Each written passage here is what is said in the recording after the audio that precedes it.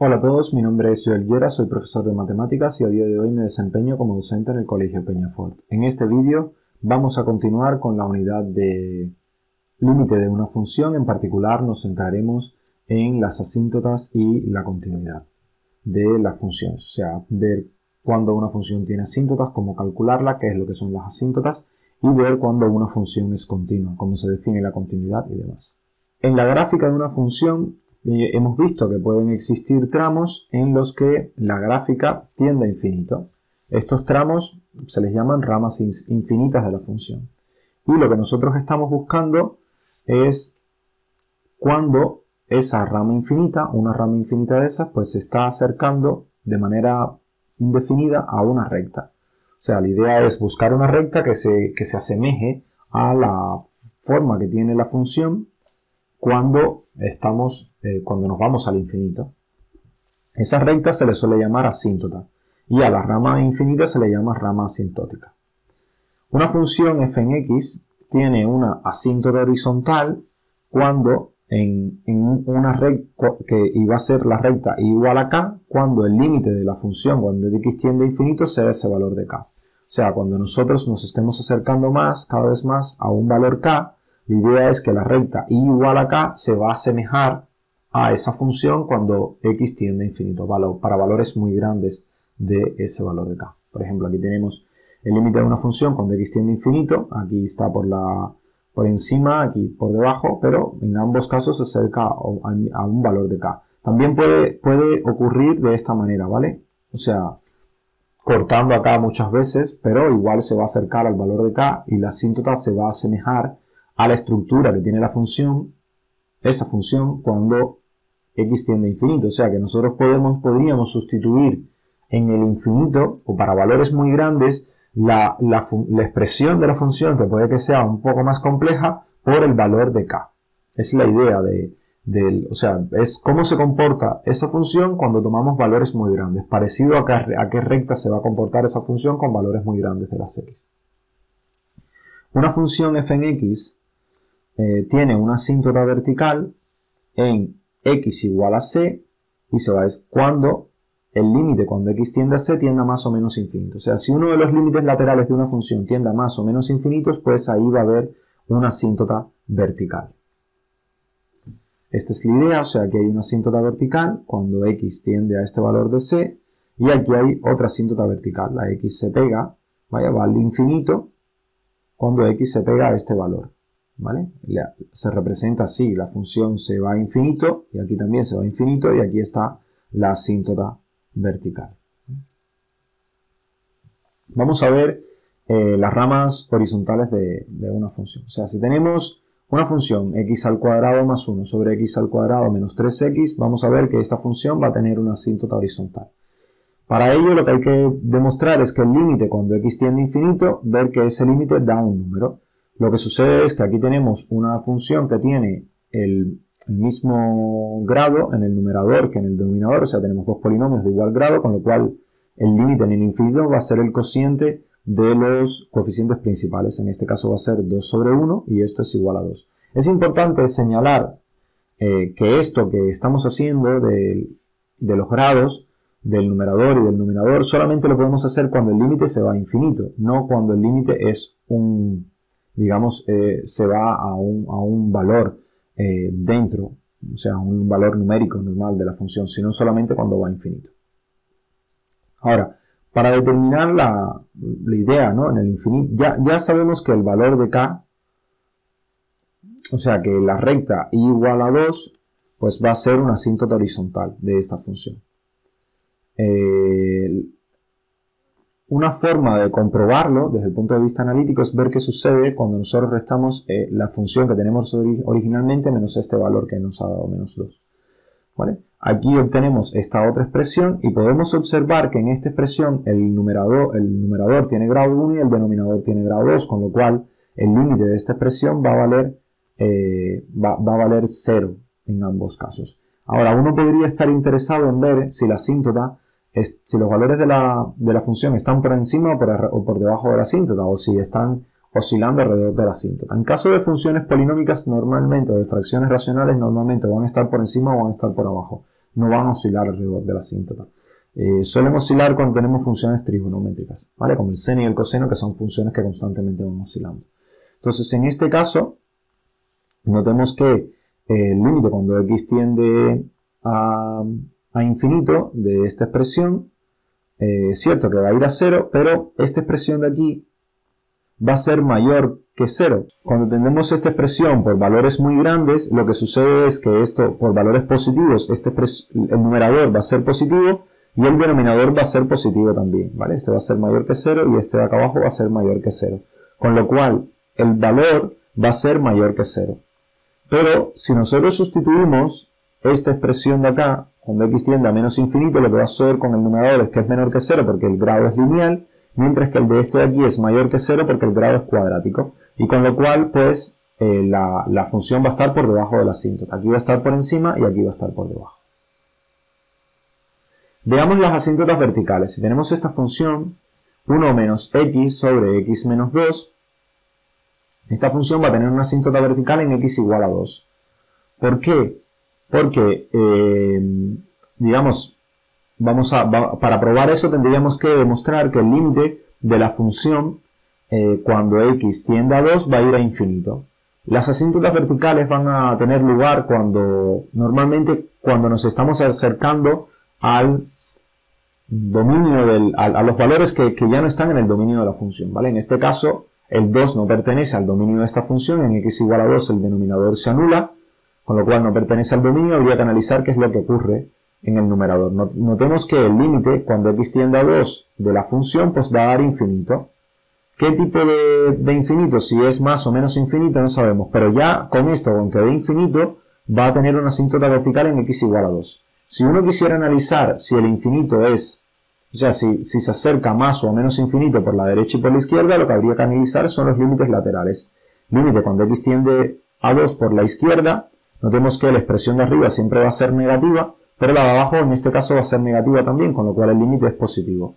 Y en esta expresión de aquí, cuando x tiende a 2 por la derecha, la expresión de arriba va a ser negativa nuevamente, pero en este caso la de abajo va a ser positiva, con lo cual el límite aquí va a ser negativo. Entonces uno debe tener eh, bien presente esto, ¿no? O sea, sobre todo el hecho de que existe una asíntota vertical cuando, pues cuando el denominador en las funciones polinómicas eh, de división de polinomios, o sea, las funciones racionales, las fracciones racionales cuando el denominador se anula. En el caso de otro tipo de funciones, pues pueden existir asíntotas, por ejemplo, cuando, en el logaritmo, cuando qué sé yo, cuando, cuando se pega, cuando una expresión tiene un logaritmo y lo que está dentro se pega a cero, expresiones de, ese tipo, ¿no? Que hacen que eh, la, gráfica vaya a infinito, más o menos infinito. Bien, las asíntotas oblicuas. Este es el tercer tipo de asíntota que vamos a estudiar. Van a tener, van a ser una recta igual a mx más n porque estamos interesados en asíntotas que sean rectas. Esta es la expresión general de una recta donde m va a ser la pendiente y n es el punto de corte con el eje y. ¿Cómo, se hallan estos valores de m y n? Pues se van a hallar como el límite de cuando x tiende infinito de f en x sobre x. Esto es lo que va a valer m, y si este valor es distinto de 0, entonces nos proponemos hallar el valor de n. Entonces va a ser el límite cuando x tiende a infinito de la función menos m por x, donde m es el valor que hemos obtenido. Y esto puede dar un valor de n. Vale, a ver, la, la idea aquí es, en general, lo que estamos buscando va a ser una función o sea, va a ser una recta tal que el límite cuando x tiende a infinito de f en x menos mx más n, ¿vale? Que toda esta expresión sea cero el límite. Es, esa va a ser la, la, definición de la asíntota obliqua. Estamos buscando unos valores de m y n tal que hagan que esta recta se parezca tanto a la función como querramos en el infinito. Notemos que aquí, eh, si nosotros dividimos por x toda la expresión, obtenemos esto, límite cuando x tiende a infinito de f en x sobre x menos m más n sobre x, n sobre x igual a 0. Fíjense que esta expresión de aquí, n sobre x, va a tender a 0 cuando x tiende a infinito, Y lo que nos queda, si pasamos el n para acá restando, lo que nos queda es que m va a ser igual a f en x sobre x, que es la expresión que tenemos acá. Y ahora, y notemos que si este límite es 0, si pasamos el n para acá, aquí hay un, aquí hay un paréntesis que no puse, ¿vale? Porque la función es menos mx más n. Si pasamos este n que está negativo para acá positivo, pues el, n va a ser igual al límite de f en x menos mx, que es lo que tenemos acá. Entonces, para, la idea es que lo que estamos buscando es una recta que se pegue, una recta que se pegue tanto a la función como nosotros queramos. Por ejemplo, acá tenemos esta función y esta recta, ¿vale? Cuando la, cuando la función se va a infinito, pues la recta se está pegando a ella. Entonces, para que, para que exista esa recta, tienen que cumplirse varios aspectos. Lo primero que debe cumplirse es que la función, digamos, si la función tiene una única expresión, ¿no? El grado, siempre el grado del numerador tiene que ser una unidad mayor que el grado del denominador. Notemos que si eso no ocurre, pues lo que va a suceder es que si el grado del numerador es más de una unidad mayor que el del denominador, el límite va a ser infinito, con lo cual el m no va a existir. Y si el grado del, numerador es igual o menor que el grado del denominador, el límite va a ser cero y con lo cual la asíntota va a ser horizontal y no oblicua. O sea, la asíntota oblicua y horizontal no pueden existir a la vez. Si, si, una función tiene asíntota oblicua no puede tener horizontal y si una función tiene asíntota horizontal no puede tener asíntota oblicua. Porque al infinito solamente podemos acercarnos de una manera. O nos acercamos a un número o, o nos acercamos o sea, nos acercamos a una recta horizontal o nos acercamos a una, a una recta que esté, que tenga un ángulo de inclinación diferente de cero, o sea, que sea, que esté, que esté jorobada, que esté oblicua. Entonces, la idea es que lo que tenemos que hacer es primero hallar el límite cuando x tiende a infinito de esta función de esta expresión f en x sobre x. Eso probablemente después de haber visto si tiene asíntotas horizontales. Uno primero tiende a, tiende a infinito para hallar las asíntotas horizontales, ve que no va a tener, ¿por qué? Porque el grado del numerador es mayor que el grado del denominador, entonces nos planteamos ver si va a tener asíntota oblicua. Entonces tomamos f en x sobre x y ¿qué es lo que va a suceder? Que al hacer esto, pues lo que estamos haciendo es aumentar en una unidad el grado del denominador. Arriba vamos a tener 2x a la 2 menos 1 y abajo tenemos x cuadrado más 1. Aquí tenemos un polinomio de grado 2 arriba y otro de grado 2 abajo. Como tienen el mismo grado, pues el límite va a ser el cociente de los, los coeficientes principales, o sea, 2 sobre 1 queda 2. Este 2 es distinto de 0, con lo cual el m es igual a 2. Este m de la recta es igual a 2. Por otra parte, vemos si existe el valor de n. Para ello tenemos que tomar límite de f en x menos mx. Ese límite de f en x menos mx va a ser igual al límite cuando x tiende a infinito de nuestra función original menos el m que nos ha dado que es 2 por x, o sea, menos 2x. Entonces aquí eh, si nosotros expresamos esto, va a quedar como 2x al cuadrado menos 1, ahora menos 2x multiplicado por esta expresión x más 1. ¿Vale? Entonces, esta expresión va a quedar 2x al cuadrado menos 1 menos 2x por x serían 2x al cuadrado también y menos 2x más 1 sería menos 2x. Entonces los 2x al cuadrado se van y lo que queda es menos 2x menos 1, que es lo que aparece acá. Aquí, ¿qué es lo que ocurre? Que tenemos menos dos polinomios de grado 1, entonces queda en el límite, cuando x tiende a infinito, queda solamente el, los coeficientes principales, que sería menos 2 sobre 1, que vale menos 2. Entonces, menos 2 es lo que va a valer la n. n es igual a menos 2, con lo cual la recta va a ser 2x menos 2. Es esta recta que aparece aquí y fíjense cómo se, acerca a la función. El otro concepto importante que vamos a ver en este vídeo es el concepto de continuidad. Es un concepto muy, muy significativo, muy importante. Se dice que una función es continua en un punto x igual a a si se cumple esto, que la función en a es igual al límite lateral por la izquierda y eso va a ser igual al límite lateral por la derecha. O sea, la idea es, tenemos los límites laterales son iguales y son iguales, ¿vale? Eso significa que el límite va a existir y que el límite va a coincidir con el valor de la función en el punto. Para ver que el límite coincidía, recordemos que solamente necesitábamos esto. Solamente necesitábamos que los límites laterales fuesen iguales. No, importaba cuánto valiese la función en el punto. Ahora, la continuidad es una propiedad que pide un poco más. Pide que, además que los límites laterales sean iguales, el valor de estos coincide con lo que vale la función en ese punto. Con lo cual, los límites laterales deben existir, deben ser finitos, esto es importante para que sea continua. Si son infinitos como, como f, como la función no puede valer infinito porque el infinito no es un número, ¿vale? Entonces ya no va, ya no va a ser continua la función. Y tienen que ser iguales. Y la función debe estar definida en este punto. O sea, en ese punto la función tiene que estar definida y tiene que coincidir con el límite de la función en ese punto, o sea, con ambos límites laterales. Cuando eso no sucede, se dice que, que, la función es continua en ese punto. Y una función es continua en un intervalo si es continua en todos los puntos de dicho intervalo. O sea, si queremos ver si es continua en 0, 1, pues ella tiene que ser continua en todos los puntos desde 0 hasta 1. Evidentemente nosotros no podemos probar punto a punto porque no terminaríamos, porque hay infinitos puntos de hecho, eh, si una función es continua. Tenemos que buscar algunas formas de ver cuándo es posible que una función no sea continua. Y es lo que vamos a, ver ahora. Las funciones que son elementales, las funciones con las que nosotros solemos trabajar, pues siempre van a ser continuas en todo su dominio.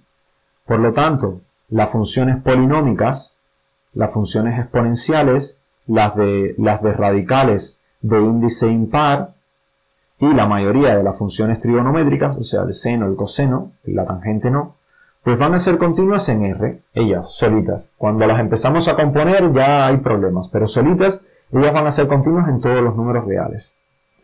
Por otra parte, las funciones con radicales de índice par y las logarítmicas serán continuas para los valores en los que pueden estar definidas. O sea, los valores que en los que radicando es mayor o igual que cero, por una parte en las que tienen radicales de índice par y donde el argumento del logaritmo es positivo para las que tienen logaritmos. O sea, esencialmente, si nosotros hallamos el dominio de la función, dentro del dominio, en los valores en los que pertenece al dominio, las funciones van a ser continuas. El problema va a ser en los valores en los que, en los que no, o sea, los valores que no pertenecen al dominio de la función. Ahí es donde tenemos que analizar qué es lo que ocurre. Por otra parte, las funciones racionales son continuas, excepto cuando el denominador se anula, que son los valores que, salen del dominio de estas funciones, o sea, de los cocientes de polinomios. Entonces, para las funciones elementales, simplemente es calcular el dominio, en todos los valores donde, donde, el dominio, donde el dominio exista, la función va a ser continua, y tenemos que ver qué es lo que ocurre cuando el dominio, eh, cuando, cuando hay un valor que no pertenece al dominio. Y cuando se componen funciones de este tipo, pues lo mismo. En las composiciones, pues, eh, como el dominio va a ser el dominio de una en la, o sea, los valores que pertenecen al dominio de la que está dentro, y después analizamos esos valores, cómo, cómo afectan las, las imágenes de esos valores, si están en el dominio de, la que, de la segunda en la que se está componiendo, pues entonces ahí hay que analizar qué es lo que ocurre, eh, cómo se produce esa intersección y qué, y qué valores son los que van a estar definidos o no. Pero esencialmente lo que tenemos que tener claro es que si estamos trabajando con funciones que son elementales, ellas van a ser continuas en su dominio. Y lo otro que tenemos que analizar es cuando las funciones eh, cambian de expresión, porque ahí el límite puede cambiar. ¿vale? Esas son las otras funciones que tenemos que analizar. Bien, vamos a ver, eh, vamos a estudiar el dominio de estas, de estas funciones. Tenemos esta función, que es una función que tiene, que es una fracción racional, Aquí, ¿qué es lo que pasa? Ya va a ser continuo en todo su dominio y su dominio van a ser los x que pertenecen a los reales, o sea, va a ser r menos el 2. Con lo cual, el único valor que puede tener problema es en x igual a 2, que es donde se anula el denominador. Entonces ella va a ser, ella no va a estar definida ahí y significa que ella va a ser continua en todo r menos en ese punto. ¿Vale? Porque si se fijan además ahí el límite va a ser infinito esta función que tenemos aquí, raíz de x más 1. El índice es par, con lo cual lo que está dentro del radicando tiene que ser mayor o igual que 0. Entonces, esta función pues no está definida en los valores en los que lo que está dentro es negativo, estrictamente negativo, que eso es en los valores que son x menor que menos 1. Con lo cual, para los valores x mayores o iguales que menos 1, esa función va a ser continua porque es, es lo que pertenece a su dominio. ¿vale? Hasta, el, hasta el menos 1. Del menos 1 para allá, como ya no está definida, pues no hay ni función, con lo cual no puede haber continuidad. Y en el caso del logaritmo, lo que sucede es lo mismo. Tenemos el dominio de la función, en este caso son los x mayores que 3, entonces ella va a ser continua, ella, la función logarítmica eh, no está definida cuando el, cuando el argumento, cuando lo que está dentro es 0, con lo cual los x, para los x más, x más 3 tienen que ser menor o igual que 0 para los que ya no está definido, o sea, los x menores o iguales que menos 3. Con lo cual, a partir del menos 3 y sin incluir al menos 3, pues es donde ella va a estar definida y donde ella va a ser continua. Las discontinuidades pueden clasificarse en dependencia de su, eh, o sea, cuán discontinuas sean las funciones.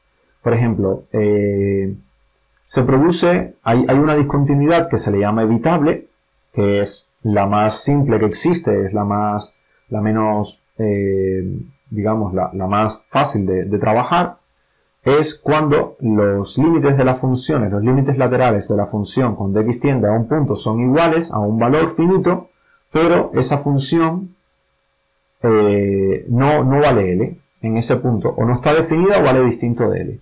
¿Vale? Es esto que sucede aquí. Tenemos que los límites laterales son iguales, pero la función vale diferente. O que los límites laterales son iguales, pero la función no está definida en ese punto. En cualquiera de los dos casos se dice que esa discontinuidad es evitable. Por otra parte, tenemos discontinuidades de salto finito, que se llaman así, cuando los límites laterales son diferentes. Tenemos un límite lateral por la izquierda que vale una cosa y otro límite lateral por la derecha que vale otra. Pero esos límites tienen que ser finitos para que se le llame de salto finito. Fíjense que hay un salto en la función y ese salto es finito. Y existe otro tipo de discontinuidad que a mí no me gusta llamarle así de salto infinito, ahora les diré por qué, que se produce cuando al menos uno, cualquiera sea, al menos uno de los límites es infinito, ¿vale? Si eso sucede, al menos uno, de los límites es infinito, pues hay un salto infinito. Yo no me quedaría ahí. Yo diría que al menos único, uno de los límites es infinito, uno de los límites laterales es infinito, o no existe. Porque, por ejemplo, si tomamos la función esta seno de 1 sobre x, ¿vale? Esta es una función para la cual los límites laterales en x igual a 0, los límites laterales no van a existir. Y ella no va a tener un salto infinito. ¿vale? Simplemente que como los límites laterales no van a existir, esa va a ser una discontinuidad bastante chunga, o sea, bastante complicada. Eh, no va a ser ni de salto finito, ni va a ser evitable, con lo cual no hay dónde clasificarla. En, esta, en este tipo de clasificaciones, esta función no entraría. Entonces, en ocasiones, a la de salto infinito se le llama eh, discontinuidad esencial. ¿Para qué? Para poder incluir, además de todas aquellas que en las que se produce un salto finito, todas aquellas en las que los límites laterales no existen. ¿Vale?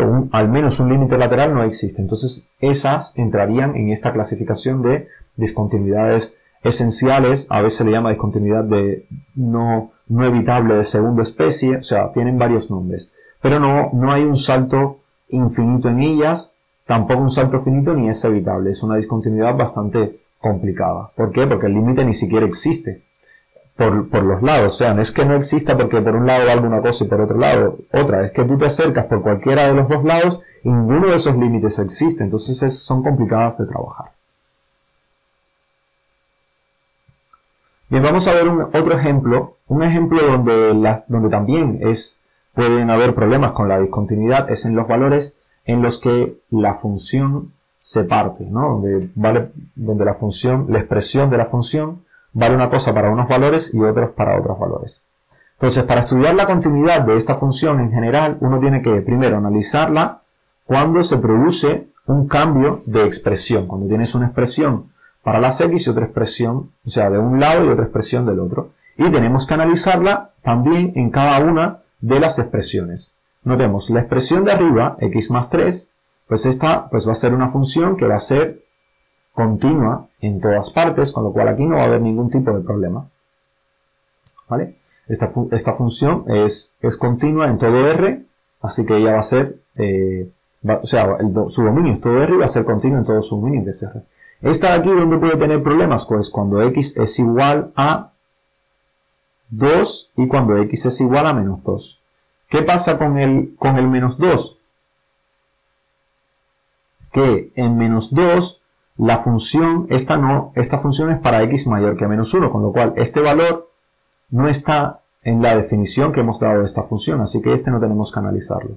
¿Dónde habría que analizarlo? En x igual a 2. Entonces, para x igual a 2, ¿qué tenemos? Que el límite, cuando x tiende a, a, 2, pues esto va a dar una indeterminación 0 sobre 0. Tenemos que analizar qué es lo que ocurre. Descomponemos abajo, x, x al cuadrado menos 4 se descompone como x menos 2 por x más 2, simplificamos el x menos 2 y lo que nos queda sustituimos por 2 y nos queda un cuarto.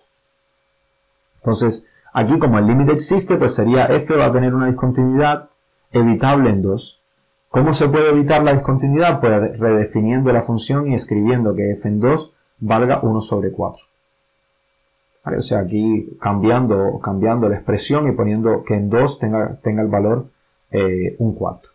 Para x igual a menos 2, ¿qué es lo que ocurre? Que, o sea, esta función va vamos a tener un menos 4 sobre 0, con lo cual este límite va a ser infinito y ahí va a tener una asíntota vertical en x igual a menos 2. Pero ¿qué pasa? Que ese valor no está dentro de la definición, con lo cual ese realmente no sería necesario analizarlo. Y en x igual a menos 1 sí tenemos que ver qué es lo que ocurre, porque es donde se produce el cambio de expresión, con lo cual tenemos que analizar si el límite por la derecha es igual al límite por la izquierda. Tomamos el límite por la izquierda, va a ser el de esta expresión que aparece arriba. Cuando sustituimos aquí por menos 1 obtenemos que vale 2. Y cuando tomamos el límite por la derecha, lo que sucede es que podemos sustituir directamente y en menos 1 pues vale menos 1 menos 2 que es menos 3 sobre eh, menos 1 menos 4 vale menos 1 al cuadrado que es eh, que es 1 y eso menos 4 da 3 entonces quedaría menos 3 sobre menos 3 que es 1 entonces lo que sucede es que como estos límites por la, por la derecha y por la izquierda son diferentes, uno da 2 y el otro da 1, pues a los límites laterales ser distintos, ¿vale? Lo que sucede es que vamos a tener una discontinuidad de salto finito en ese lugar.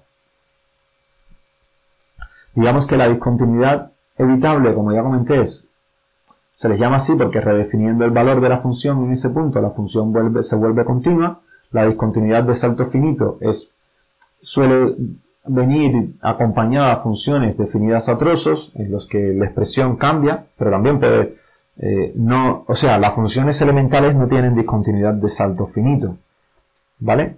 Eh, normalmente existen cuando tenemos funciones definidas a trozos. Y las discontinuidades de salto infinito, pues, eh, vienen cuando tenemos una asíntota vertical en ese punto x igual a En realidad aquí en este, como dije anteriormente, no hay una discontinuidad de salto infinito porque el, valor x igual a menos 2 pues no pertenece a donde está definida la función porque ella solamente está definida para x mayor que menos 1 entonces el 2 no estaría en el menos 2 no estaría en ese rango de valores así que esa no, no la va a tener. Esta que hemos definido aquí tiene dos discontinuidades. Una evitable en x igual a 2 ¿vale? es esta de aquí x, para x igual a 2 una evitable y una de salto finito en x igual a menos 1, que es donde cambia de expresión eh, la función. En x igual a, menos 2 no hay, no hay una discontinuidad, porque x igual a menos 2 sería la expresión de arriba, que ahí la función valdría 1, eh, porque no, no sería en esta de acá abajo, porque es, donde es por la forma en que está definida. Muchas gracias por su atención, nos vemos en la próxima y espero que haya sido de su interés.